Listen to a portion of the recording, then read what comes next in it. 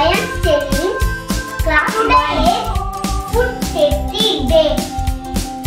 Food safety involves everybody